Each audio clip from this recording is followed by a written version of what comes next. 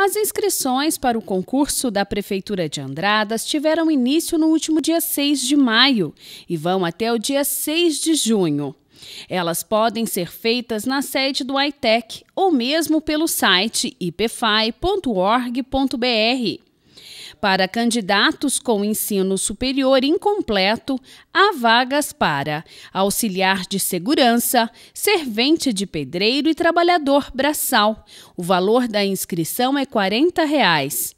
Já para o ensino médio completo, vagas para auxiliar de saúde bucal, fiscal de obras, fiscal sanitário, mecânico de manutenção de máquinas e veículos, motorista, operador de máquinas pesadas e pedreiro.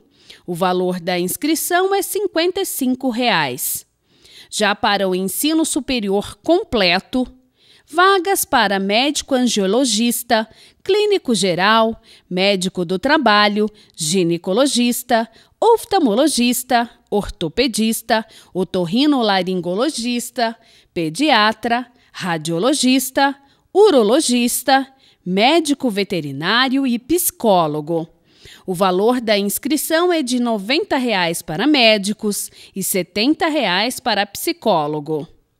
Ao todo, estão disponíveis 39 vagas.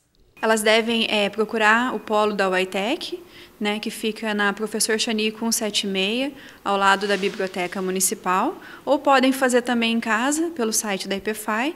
Caso forem vir fazer aqui no polo, a gente pede que traga CPF, RG e um comprovante de endereço. O horário de funcionamento do ITEC para as inscrições é das 13 às 17 horas, de segunda a sexta-feira.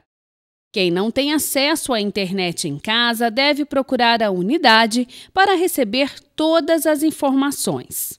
Elas podem estar vindo aqui no, no polo e nós, funcionários da UITEC, fazemos as inscrições para as pessoas. A prova ela vai acontecer no dia 7 7 de julho.